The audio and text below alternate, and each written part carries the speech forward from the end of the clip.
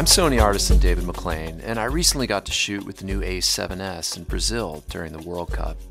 Brazilians play and watch soccer with a sense of joy and passion that's truly beautiful to behold. We were there working on Bounce, a feature length documentary film that sets out to answer a simple question Why do people everywhere play ball?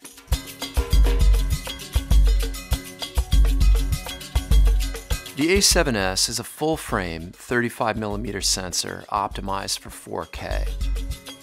In this Brazilian favela, we flew the camera and 4K recorder on our Steadicam to follow kids on their way to play soccer.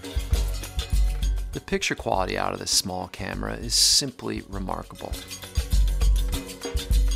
You need an external recorder to capture 4K with the A7S, and this time lapse shows you how we configured our rig in a Zacuto Swiss cage. The whole setup was remarkably stable, despite being used almost exclusively on the run. It's hard to believe such an inexpensive camera can be so versatile and open up the world of 4K to filmmakers. The A7S shoots 1080 at 60p and 720 at 120p, which adds slow motion to the filmmaker's toolbox. When we found these jugglers in Salvador, slow-mo was the obvious choice. This footage was all shot at 120 frames per second. We shot night soccer in Salvador at ISO 3200 using S-Log2 in the picture profile setting. As you can see, the entire pitch was only lit with a few streetlights. There's a little noise, but in the past we would have had to walk away from this amazing scene because there was not enough light to even think about picking up a camera.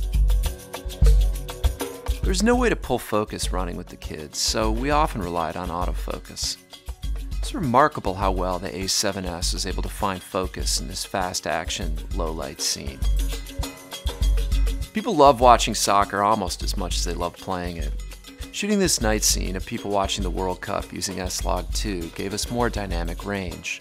The color's flat right out of the camera when you use S-Log2, but a little grading in post-production makes it shine. At the end of the day, that's really the whole point of gear and technology. To enable new kinds of coverage and richer storytelling. It's as simple as that, and always has been for me. During our time in Brazil, especially when the light was low, that's just what the A7S did.